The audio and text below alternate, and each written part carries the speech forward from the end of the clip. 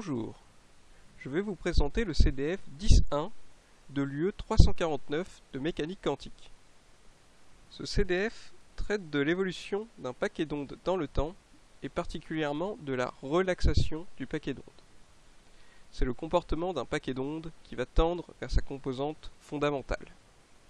Cette méthode est très utilisée pour trouver rapidement l'état fondamental d'un potentiel quelconque. Ce CDF décrit le comportement d'une masse m de 1 UA soumis à un potentiel harmonique V de x égale à x carré sur 2 de fréquence 1 UA.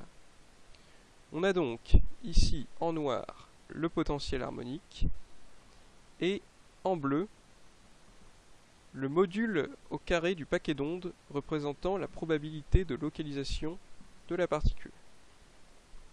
Ici nous avons t le temps et ici nous avons l'énergie moyenne de la propagation.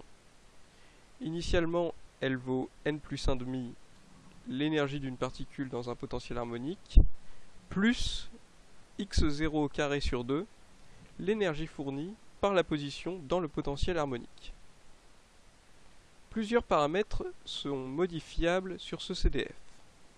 n, variant de 0 à 3 ici, c'est le nombre quantique associé aux fonctions propres de l'oscillateur harmonique, que l'on peut choisir comme paquet d'ondes initiales en les décentrant pour qu'ils ne soient plus des états stationnaires.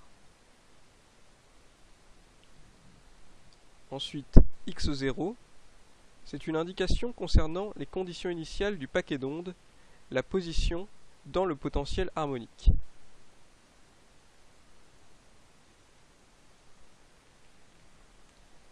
X0 est différent de 0 car on souhaite observer des oscillations et qu'il n'y a pas d'oscillation pour les états propres qui sont centrés sur la position d'équilibre.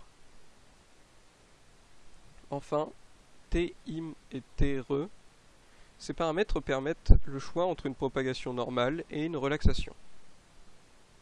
Pour une propagation normale, l'évolution du paquet d'ondes dans le temps peut s'écrire sous la forme d'un opérateur, l'opérateur d'évolution.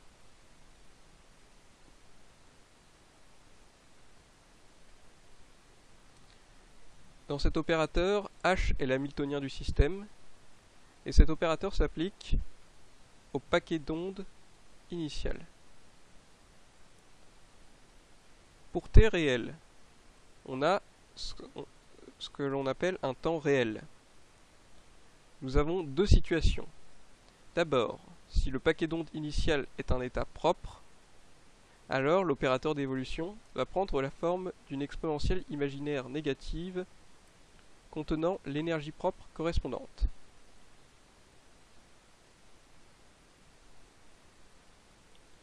il en résulte que l'évolution ne modifie pas son module au carré.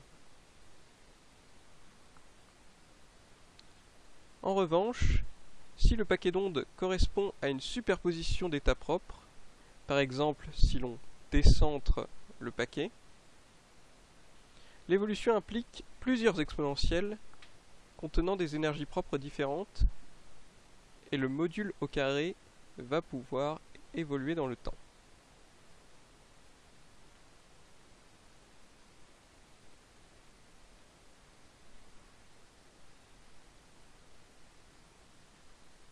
En conséquence, on observe des oscillations sans déformation du paquet d'ondes, et ce, quelle que soit la position initiale ou l'ordre du paquet d'ondes.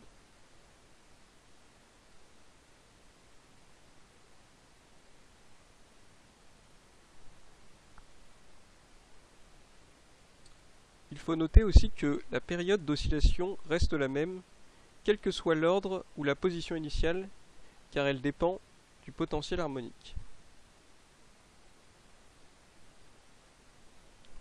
Ensuite, pour t im, cela signifie qu'on prend un temps imaginaire. On obtient en conséquence des exponentielles décroissantes réelles.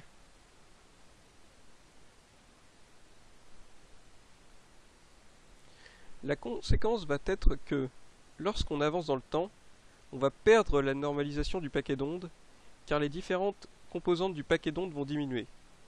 Cela va avoir pour conséquence de modifier la norme au carré du paquet d'ondes. Les composantes de grandes énergies, donc de n grand, vont être très affectées par l'évolution temporelle et vont rapidement disparaître. En conséquence, le paquet d'ondes va tendre vers sa composante fondamentale dans son état d'équilibre.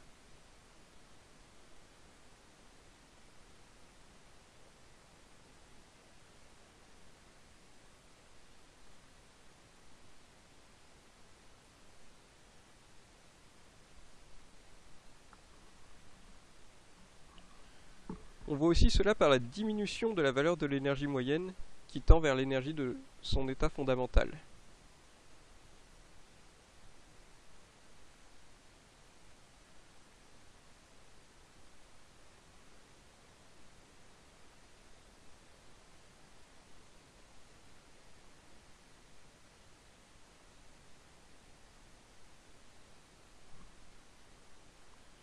On peut par exemple utiliser cette méthode de relaxation pour calculer l'état fondamental d'un système.